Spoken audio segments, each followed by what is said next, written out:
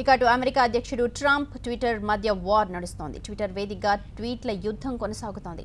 America అధ్యక్షుడు Donald Trump చేసిన ట్వీట్లకు తొలిసారి ట్విట్టర్ ఫ్యాక్ట్ చెక్ హెచ్చరికను జారీ చేసింది. ఎన్నికల్లో మెయిల్ ఇన్ బ్యాలెట్ అవలంబించడం ద్వారా మోసం జరిగే అవకాశం ఉందని ట్రంప్ ట్విట్టర్లో రాసుకొచ్చారు. అయితే మెయిల్ ఇన్ బ్యాలెట్ విధానంపై ట్రంప్ చేసిన ఆరోపణల్లో నిజమెంతో తెలుసుకోవాలని ట్విట్టర్ నెటిజన్లకు సూచించింది. అయితే సిఎన్ఎన్ వాషింగ్టన్ పోస్టుల వార్తల ఆధారంగా ఫ్యాక్ట్ చెక్ చేసుకోవాలని సూచిస్తారా అని ట్విట్టర్ వేదికగా ఆగ్రహం వ్యక్తం చేశారు ట్రంప్. దీనిపై స్పందించిన ట్విట్టర్ ట్రంప్ వ్యాఖ్యలపై అభ్యంతరం వ్యక్తం చేసింది. ట్రంప్ వ్యాఖ్యలు తప్పుదోవ పట్టించేలా ఉన్నాయని ట్వీట్ చేసింది.